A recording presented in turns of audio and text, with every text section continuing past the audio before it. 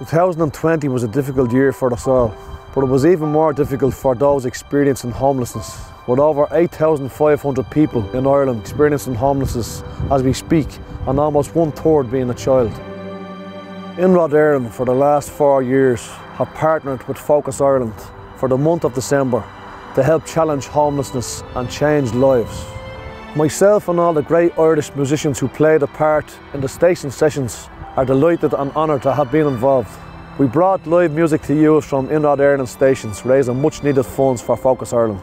Over 280,000 euro has been raised throughout this partnership over the last four years, and this has been crucial funding.